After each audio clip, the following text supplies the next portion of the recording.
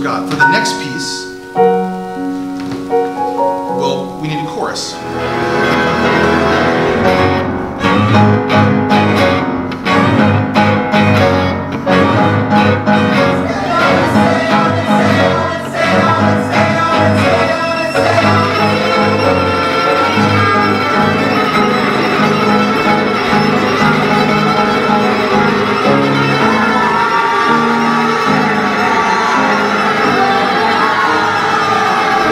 In the 12th year, Narayana's herd continues its population explosion, growing from 88 to 129 and registering an annual population growth of 46.59%.